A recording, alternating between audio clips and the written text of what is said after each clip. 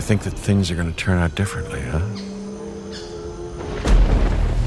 Well, the ones before you did too. Because they believed that they were in control.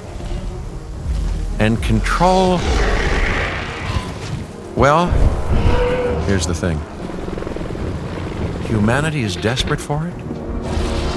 We are seduced by it, deceived by the illusion of it, never really possess it.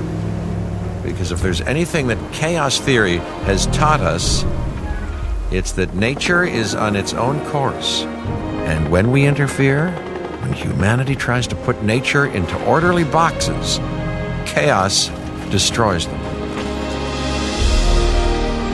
And what makes us such unique creatures is knowing the scope and power of what we're up against and still believing that we can win.